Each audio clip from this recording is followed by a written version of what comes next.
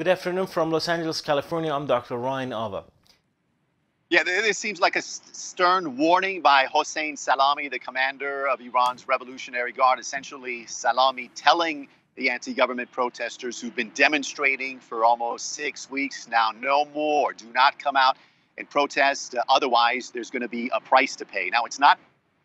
It's not clear. Salami's statement is the outcome of a strategy change by Iran's security apparatus. It's not an indication uh, if they're going to get more aggressive or if it was just a unilateral statement by Salami, him expressing his frustration. What is clear is that the Iranian government uh, is frustrated by these demonstrations, even though the government has cracked down, even though the protests have seen peaks and valleys. They have uh, continued. Of course, Thursday, there was a big spike in protests. It was the 40th day since the passing of Mahsa Amini. There was also a mass shooting at a holy shrine in Shiraz where 15 people killed. The government government calling it a attack, trying to link that shooting to the anti-government protest. And overnight on Friday, you had more protests in Zahedan and the Kurdistan region, where, according to a rights group, a hospital was attacked by security forces uh, and also a, a school dormitory. To support my work, please click the subscribe, the like button,